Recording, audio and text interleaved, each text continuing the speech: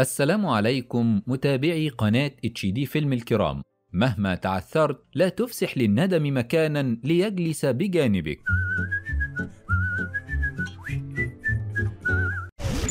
ما تنسوش الدعاء لإخواننا اللي تحت الحصار. ربنا يثبتهم وينصرهم ويرحم شهدائهم. وبيبدأ فيلمنا بالمحامية جولييتا واللي بتكون داخلة قسم الشرطة علشان تشوف صديقها لورينزو واللي بيكون مقبوض عليه. وبتقعد معاه جولييتا وأول ما بتقعد بيقول لها لورينزو إنها لازم تساعده. وبنرجع فلاش باك لفترة كبيرة ورا وبنشوف لورينزو ومراته سيجريد وهم رايحين على بيت جولييتا وجوزها ريناتو لأنهم عاملين حفلة صغيرة بمناسبة جوازهم. وبنعرف إن جولييتا تعرف لورينزو لأنه رسام وكان بيديها درس رسم زمان وبيقفوا يتكلموا مع بعض. وبنعرف إن سيجريد تبقى عالمة أحياء وبيشربوا سوا كلهم لكن سيجريد بترفض تشرب. وده لأنها عايزة تحمل وعارفة إن الكحول ممكن يأثر على فرص حملها. وبنشوف بعد كده جولييتا وهي واقفة مع لورينزو وبتسأله عن مراته الأولى. فبيقول لها إنه ما يعرفش حاجة عنها لا هي ولا بناته الاتنين من ساعة ما سافروا مع مامتهم كندا. وبيقول لها إنه دلوقتي مركز على حياته مع سيجريد وبيبدأ معاها حياة جديدة وبيتمنوا إنهم يجيبوا طفل ويكونوا أسرة. وبعدها بيسألها عن وضعها مع ريناتو فبتقول له إنهم بيحاولوا في موضوع الخلفة هم كمان لكنهم بيواجهوا شوية صعوبات. وبعد كده بفترة بنشوف لورينزو وسيجريد وهم واقفين في معرض لوحات لورينزو مشارك فيه وبيكون فرحان جدا وبعد شوية بتدخل عليهم جولييتا وبتسلم عليهم لكن ما بيقدروش يقفوا مع بعض كتير وده لأن سيجريد بتتعب وبيمشوا على طول. وبعد ما بيمشوا بيسألها لورينزو عن سبب تعبها فبتقول له إنها حامل فبيحس لورينزو إنه طاير من الفرحة وبيسألها هي عرفت إزاي؟ فبتقول له إنها عارفة الموضوع ده من كذا أسبوع فبيتصدم لورينزو وبيسألها هي ما قالتلوش ليه؟ فبتقول له إنها كانت مستنية بس لحد ما تتأكد وبمجرد ما اتأكدت أهي قالت له. وبنرجع مرة تانية للوقت الحالي. وبتطلب منه جولييتا إنه يساعدها بأي حاجة قدام القاضي علشان تقدر تخرجه من القسم. وده لأن لورينزو سجله مكتوب فيه إنه كان مدمن كحول ودي حاجة هتضعف موقفه قدام القاضي. وبتقول له إن كده مراته هتقدر تثبت إنه خطر عليها. وبيكون هدف جولييتا إنها تثبت للقاضي إن القضية دي مجرد حاجة كيدية من مراته وبعد كده بيروحوا يقابلوا القاضي وبتنصحه القاضية إنه يروح لدكتور نفسي فبيتعصب عليها لورينزو وبيقول لها إنه صاحب الحق وإن مراته هي اللي بتكذب فبتأمر القاضية الحراس إنهم ياخدوه بعيد وبتحاول جولييتا تهديه وبتقول له إنها هتقدر تجيب له إخلاء سبيل وبتعرف فعلا إنها تجيب له إخلاء سبيل من القاضية لحد ميعاد القضية اللي سيجريد رفعها عليه وبتطلب منه جولييتا إنه يكون حذر وما يعملش أي مشاكل لأنه خارج على ضماناتها هي ولو اتمسك بأي تهمة هيتسجن وهي كمان هتتسحب معاه. فبيتعصب لورينزو وبيشكي لها همه وده لأنه بقى مش قادر يشوف ابنه من سيجريد بعد ما منعته عنه ومش قادر يشوف بناته من مراته الأولى هي كمان. وبيقول لها إنها مش هتحس باللي هو بيقوله وده لأنها مش أم وما تعرفش الإحساس ده لكنه بيحس إنه عك في الكلام وبيتأسف لها وبتقبل جولييتا أسفه وبتطلب منه إنه يحكي لها كل اللي حصل. فبيحكي لها وبيقول لها إنه بعد ما عدى فترة على حمل سيجريد ومع قرب موعد الولادة. الدكتور اتكلم مع سيجريد إنه يحجز لها أوضة في المستشفى علشان تولد فيها لكن سيجريد رفضت وقالت له إنها عايزة تولد في البيت زي ما هي اتولدت ولكن الدكتور بيقول لها إن ده خطر على الجنين فبتقول له سيجريد إنها هتعرف تأمن البيت بتاعها وتعقمه كويس وده لأنها عالمة أحياء. وبيستغرب لورينزو من إصرار سيجريد على الولادة في البيت وبعد ما بيخرجوا بيقول لها لورينزو إنه موافق على موضوع ولادتها في البيت ده علشان ما يضايقهاش وبيقول لها إنه هيجيب لها دكتور كويس علشان يولدها في البيت لكنها بترفض وبتقول له إنها هتبقى تتصرف. وبعد كده بنشوف لورينزو وهو واقف يرسم في المرسم بتاعه في البيت وبتروح له سيجريد وبتطلب منه يوقف رسم ويبعد الحاجات بتاعة الرسم دي بعيد عن المكان. فبياخدها وبيطلعها لأوضة موجودة في أعلى البيت وهو في الأوضة دي بيشوف من الشباك سيجريد بتدي حقنة لنفسها في البطن. فبينزل لها بسرعة وبيقول لها إنها كانت لازم تستشير دكتور قبل ما تاخد أي دواء لكنها بتطمنه وبتقول له إنها عارفة بتعمل إيه كويس. وبنشوف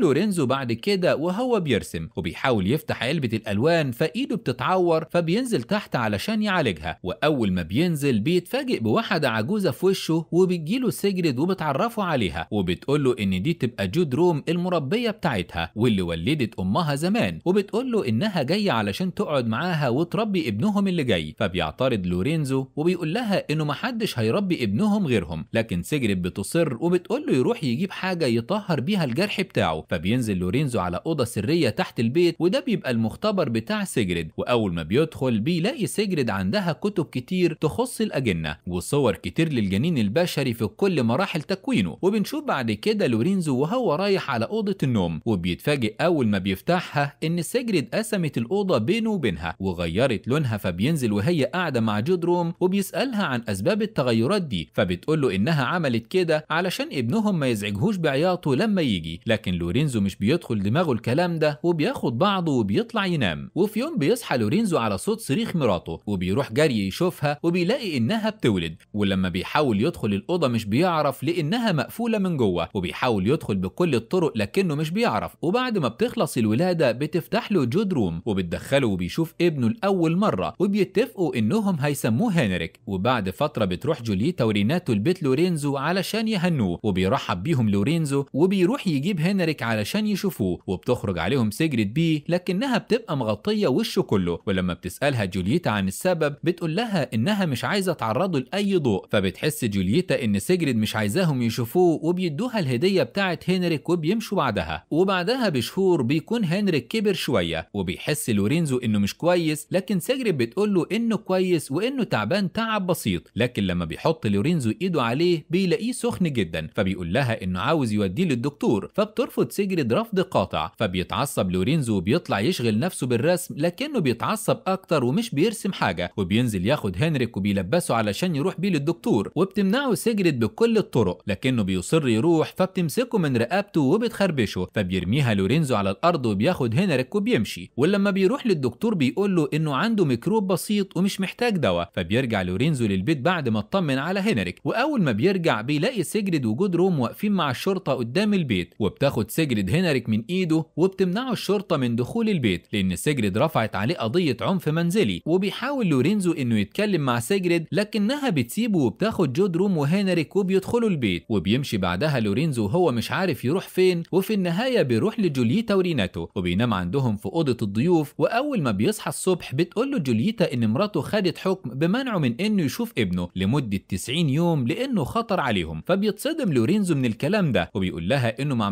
أي حاجة وإن هي اللي اتهجمت عليه الأول. وبتسأله لو كان رجع للكحول تاني لكنه بينكر ده تماما. وبيقول لها إنه هيشوف أي مكان تاني يبات فيه الفترة دي لكن جوليتا وريناتو بيمسكوا فيه وبيطلبوا منه يفضل معاهم الفترة دي. وفعلا بيفضل معاهم وبعد ما الفترة بتخلص بيرجع لورينزو لبيته. وهو متحمس ومعاه هدية لهنريك وأول ما بيدخل بيلاقي جود روم في وشه. وبيدخل علشان يشوف هنريك لكن أول ما بيشوفه بيحس إن في شيء غريب. ولما بيقرب منه بيلاقي إنه مش هنريك الحقيقي وبيفضل يلف في الشقة على سيجريد وهو بيقول لها إن ده مش ابنه وبيسألها عن مكان ابنه الحقيقي فبتهدده جودروم إنها هتبلغ الشرطة لكنه مش بيهتم وبينزل للمختبر وبيحاول يدخله لكن مش بيعرف لأن الباب بيكون مقفول فبيجيب حديدة يفتح بيها الباب وفي الوقت ده بتوصل الشرطة وبيقبضوا عليه تاني وبنرجع مرة تانية للوقت الحاضر وبنلاقي إن لورينزو أجر شقة ليه لوحده وعايش فيها مع لوحاته وفي يوم من الأيام بيجيله محضر من المحكمة وبيلاقي إن سيجريد عايزة تتصالح معاه وتخليه يشوف هنريك فبيفرح لورينزو وبياخد لوحة من لوحاته وبيروح بيها لجوليتا وبيقول لها على اللي حصل وبيسألها عن تطورات العلاج بتاعها في موضوع الحمل. فبتقول له إنها فقدت الأمل خلاص وقررت إنها تتبنى طفل. وبنشوف لورينزو وجوليتا وهم قاعدين في جلسة التصالح في المحكمة مع سيجريد والمحامي بتاعها. وبتقول سيجريد للقاضية إنها عايزة هنريك يتربي في أسرة عادية ويختلط بأبوه وأمه حتى لو كانوا منفصلين. وبتوافق جوليتا على ده فبيطلع المحامي بتاع سيجريد ورق وبيقول للورينزو إن أهل سيجريد اللي في بولندا عايزين يشوفوا هنريك وعلشان كده هو عاوزه يمضي على موافقته على سفر هنريك. فبترفض جوليتا لأنها ما تضمنش إنهم مش هيهربوا بالولد لكن لورينزو بيقول إنه موافق يمضي على أي حاجة لكن يشوف ابنه الأول فبتقول له سيجريد إنها هتديهوله يقعد معاه اليوم كامل فبيمضي لورينزو. وفعلا بيروح لورينزو لبيته مع جوليتا وهناك بيلاقي جود روم مستنياه ومعاها هنريك المزيف. ولكن لورينزو بياخده على عكس المتوقع وبيروحوا على بيت جوليتا وهناك بيقعد ريناتو وجوليتا يلعبوا معاه وبيكونوا طايرين بيه وبيشوفهم لورينزو بيقول لهم يعتبروه ابنهم الروحي وبيسيبهم معاه وبيروح الحمام ولما بيدخل الحمام بينط من الشباك وبيروح لبيته وبيتسلل لحد ما بيدخل للمختبر وبيلاقي هناك هنريك الحقيقي وهو نايم في سرير المختبر وفجأة بيلاقي سيجريد جاية من وراه وماسكة بندقية وبتهدده إنها هتخلص عليه لو ما مشيش وبتقول له إنه محدش هيسأل فيه لأنها واخدة عليه حكم بعدم التعرض وفي الوقت ده بيحس ريناتو وجوليتا إن لورينزو اتأخر جدا في الحمام فبيروحوا يشوفوه ولما ما بيردش بيكسر ريناتو باب الحمام فمش بيلاقوه فبيقلقوا وقلقهم بيزيد أكتر لما بيدخلوا أوضة الضيوف اللي مقفولة من ساعة ما لورينزو مشي منها وبيلاقوا إن لورينزو راسم رسومات كتير جدا لهنريك وفي أعمار مختلفة وبيتوقعوا ساعتها إنه أكيد راح لسيجريد ولما بيروحوا بيلاقوا عربيته فعلا قدام البيت وبيخبطوا على الباب لكن محدش بيرد وما بيكونش فيه أي أثر لأي إنسان موجود فبتروح جولييتا ناحية شباك الأوضة اللي تحت البيت وبتكسر الإزاز وبتتصدم أول ما بتشوف جثة لورينزو على الأرض وبتبلغ البوليس على الفور. ولما بتيجي الشرطة بيدوروا على جود روم وسيجريد في كل مكان لكنهم مش بيلاقوهم. وساعتها بيعرفوا إن سيجريد هي اللي خلصت عليه. وبتروح جولييتا للظابط وبتقول له إن الطفل اللي معاهم ده يبقى هنريك ابن لورينزو. وبتقول له إن ابوه كان موصيهم عليه قبل ما يموت وعلشان كده بتطلب إنه يفضل معاها. فبيقول لها الظابط إن الموضوع ده المفروض بيكون فيه إجراءات كتير وبيوعدها إنه هيساعدها في الموضوع. وبعد سنتين بنشوف ريناتو وجولييتا ومعاهم هنريك المزيف وبنلاقي إنهم قدروا فعلا يتبنوه وبيكونوا فرحانين بيه جدا وعايشين مع بعض حياة سعيدة. وبيكونوا بيتفسحوا في البلد وبيقعدوا في مكان. وبتروح جولييتا علشان تجيب آيس كريم لكن وهي ماشية بتشوف جود روم وبتكون شايلة شنط كتيرة. فبتروح جولييتا وراها من غير ما تحس وبتفضل ماشية لحد ما بتدخل في الغابة